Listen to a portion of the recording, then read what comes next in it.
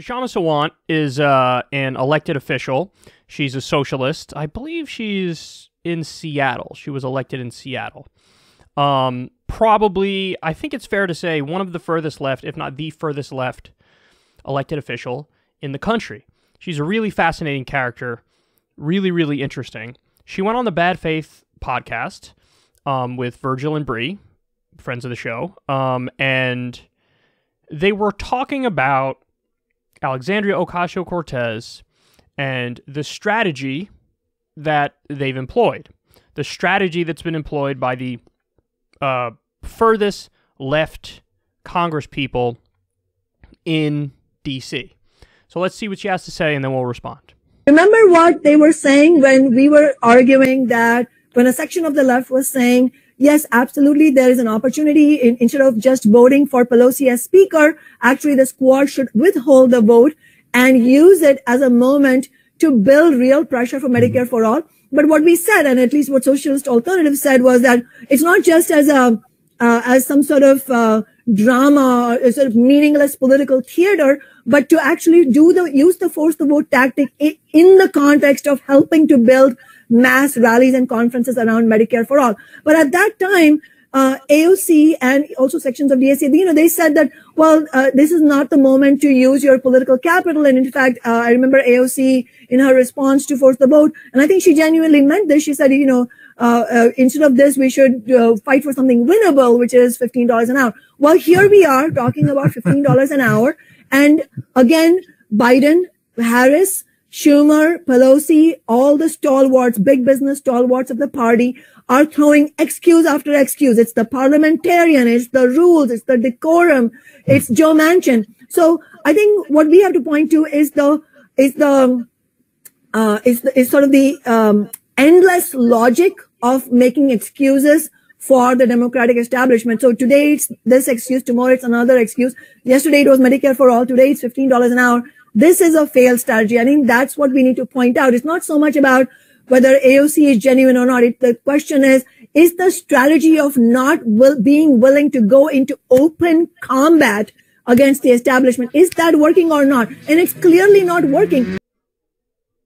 She gets it. She gets it. That's the exact criticism that I've been attempting to make for an extended period of time here, but haven't been able to do it in such a succinct way.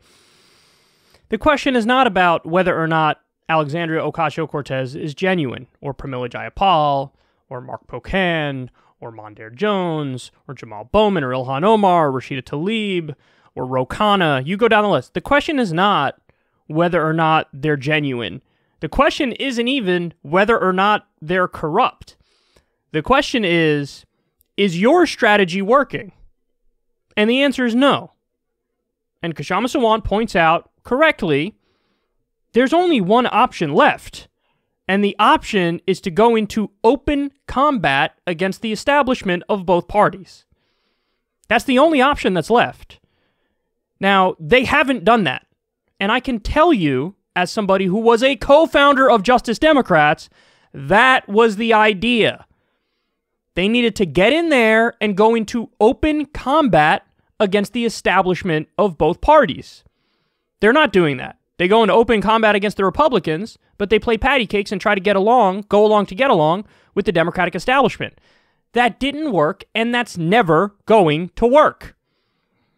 If that was going to work, well, Alexandria Ocasio Cortez said it. She was like, Kshama Sawant points this out. Oh, don't do force the vote over Medicare for all. Do it over something that's, you know, more likely to pass, like $15 minimum wage.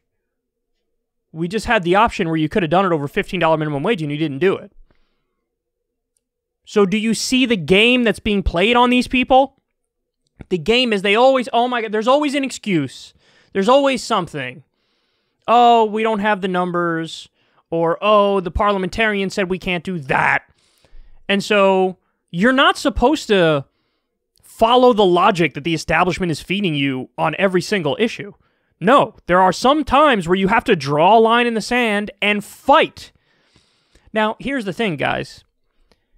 These people are scared. I mean, that's that's really the reality of the situation. They are scared.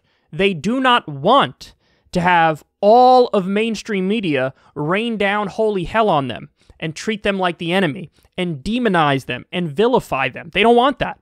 They don't want the leaders of their own parties to take retribution and revenge against them. They don't want that. But it's the only way you're ever going to win and get anything done. And I got news for you. The media hates you anyway. The leaders of your own party hate you anyway. They despise you. They despise you. So, who cares if they, you know, kick it up a few levels? Who cares? You might care, but I don't care that you care. I really don't give a shit about your feelings. I don't care. You were sent there to do a job, to fight for the American people, to fight for working people, to fight for Medicare for all and free college and a living wage and ending the wars and a Green New Deal, and the list goes on and on. You know, um, universal daycare, paid time off. You're supposed to be fighting for these things. You're only going to get them if you fight. So, you know, listen, they're pathetic. They're pathetic. They're pathetic. And I don't want to hear, like, I just saw Pramila Jayapal in an interview singing the praises of this COVID relief bill. You're supposed to be the left flank of the Democratic Party. What you should be talking about is the failure of not getting the $15 minimum wage in there and the $1,400 checks not being $2,000 checks. These aren't small things, these are big things. Think about how many people's lives were ruined because there wasn't a $15 minimum wage in there. Over a million people. More than a million people. Over a million people would have been lifted out of poverty, official poverty with the $15 minimum wage, and something like 27 million people would have been helped. And we're just going to sing the praises of this bill when they promised $15 minimum wage and they didn't put it in there? Guys, what had to happen is those 23 or 24 Democrats who signed Ro letter telling Kamala Harris and Joe Biden to overrule the parliamentarian. They should have voted as a block and said, we're going to vote no unless and until you put the $15 minimum wage in this bill. There are more of us who are saying we're not voting for it if it's not in there than people who are saying they're not going to vote for it if it is in there. So get to work, Joe. Get to work, Kamala. Give these people whatever they need to get on board for the $15 minimum wage. That was the only way we were going to get it. And yes, it would have been tough because the media would have smeared the progressives and Democratic leadership would have taken revenge against them, but that's when you keep using the bully pulpit. Why are you guys afraid to make arguments?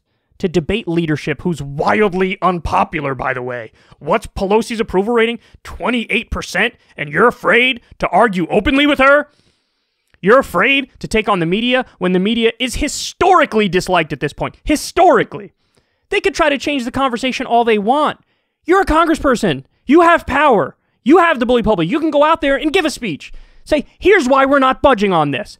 Joe Biden promised this to the American people. Kamala Harris promised this to the American people. A poll in 2019 showed minimum wage increase to $15 an hour is a 67% issue. 67%. Here's how many people it would help.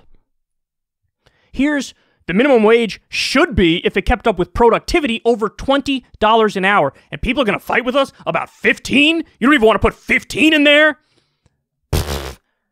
Fuck out of here. Fight! Fight! Fight! And if you're not going to do it, then don't whine when people attack you. Don't get upset when people come after you, because they have every right to come after you if you're not doing the thing that we sent you there to do. So people have been more than patient, man. They've been more than patient. And the left doesn't have much to show for their tactics of, well, every now and then I will work with Pelosi and I'll say nice things, and then maybe she'll give me some things if I say nice things to her, and then from now on, maybe we'll have an open working relationship, and then when I ask for the next progressive thing, maybe she'll put it in there. It hasn't worked. It's never going to work. Make them hate you. And by the way, they think the media shitting on them and Democratic leadership shitting on them will ruin their future prospects. You'll become more popular if you do it.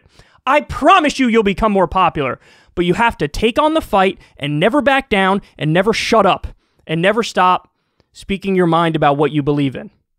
So I think Kshama Sawant is exactly right about this. She clearly completely gets, um, you know, the strategy that we were attempting to do, um, and she's probably the answer. She's the one who needs to be in Congress, or she's the one who needs to be in the Senate because she ain't gonna back down. She's going to lead the fight. And you, you know what happens, guys? Usually all it takes is one. All it takes is one person to show a little bit of fucking spine, and then the rest of them hop on board. But, you know, listen, it is sad. Because what does it show you? It shows you that these people who we sent there, who we hoped were leaders, none of them are leaders. They're all followers. They are. I'm sorry. As much as I like some of them, they're all followers. They're waiting for somebody else to take the risk. And then when they take the risk and they see, like, oh, this guy didn't fall, when they s- suddenly start advocating for that position, oh, me too, me too, me too. You know when this happened recently? The, um, and this isn't even one that I necessarily agree with, but it's one where they decided, oh, we're going to puff our chest out and fight.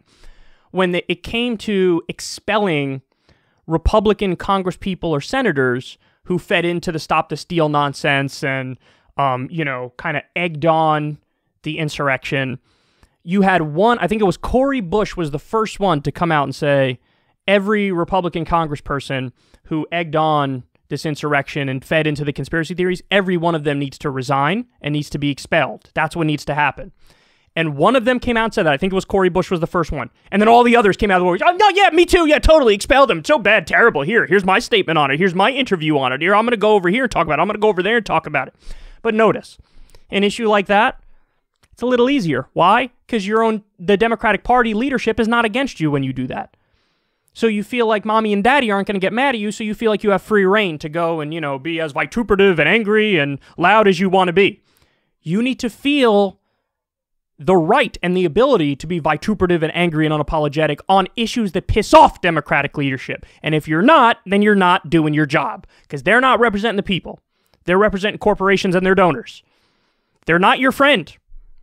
They're status quo defenders and and tweakers at best.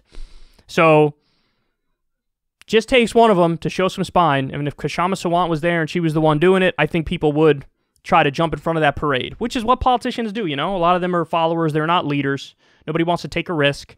They see one person take the risk, and it kind of pays off, and they're like, "Me too, me too, yeah, no, totally, I'm, I'm, I'm totally." On board. We saw that happen with gay marriage right? There was a time when every Democratic politician was against it. Then a few came out for it, and everybody was like, "No, no, me too. I love the gay community, even though I was just against gay marriage seven and a half minutes ago. I've, I've always loved the gay community. I'm in favor of the gay marriage."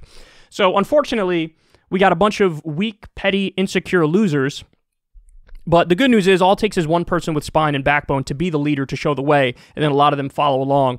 So I'm just happy that there's some elected official somewhere in the country who really understands where we're at.